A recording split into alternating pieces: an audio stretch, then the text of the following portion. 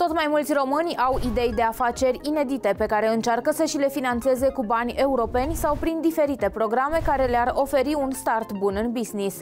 Cel mai recent concurs de idei de afaceri creative desfășurat la nivelul regiunii de nord-vest a României a adunat în faza finală a competiției numai puțin de 40 de idei de afaceri care mai de care mai colorată, la propriu.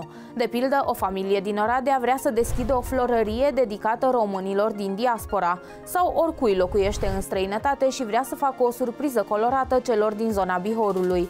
Haideți să vedem de unde le-a venit acestor antreprenori aflați la început de drum ideea de a face bani din flori.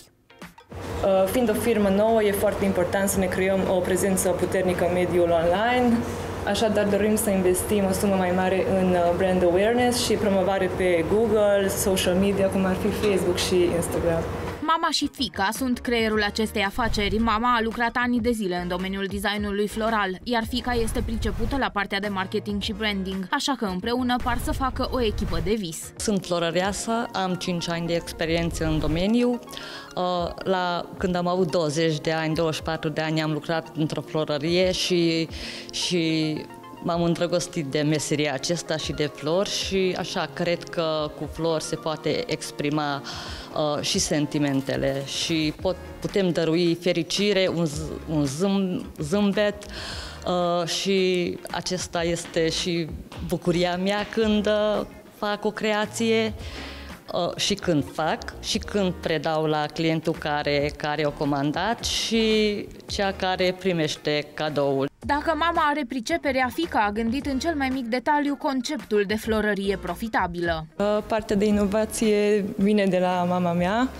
Uh, ea crede că sunt foarte mulți români care lucrează în străinătate, stau în străinătate și nu pot să fiu prezenți la ocaziile speciale, cum ar fi o zi de naștere sau aniversare.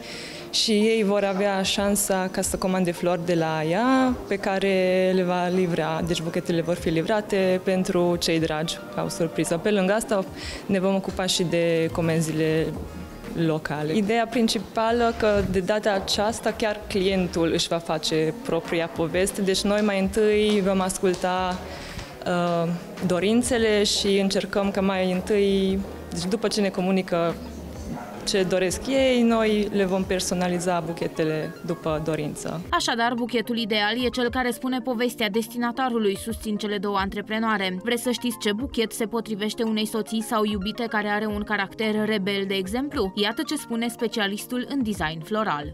O să facem atât, uh, un, uh, fac un buchet uh, care nu are o formă perfectă, uh, mai multe feluri de flori, uh, verdeață care se atârnă.